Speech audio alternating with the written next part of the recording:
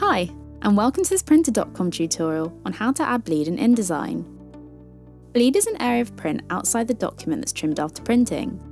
It's there as a precaution to make sure there's no white space left on the document after it's trimmed. When preparing a document for print, it's really important to make sure that the artwork extends right to the outside edge of the bleed area, and that any text is set at a safe distance from the trim line. We would suggest at least 3mm inside from the trim edge. If you're making a new document in InDesign, you'll want to customise the bleed on the first screen. Click File, New, Document, and make sure the bleed options are visible at the bottom of this window. To add bleed, type 3mm into the first box.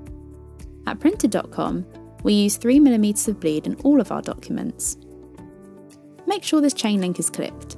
It puts an equal value in all the boxes. Top tip if you type 3mm in the first box and hit Tab, the rest of the boxes will update automatically. If you have an existing document and you need to add bleed to it, click File, Document Setup and follow the previously outlined steps. To check if your bleed has been added, press W to show and hide the document guides. The bleed is shown by the red line that runs around the document.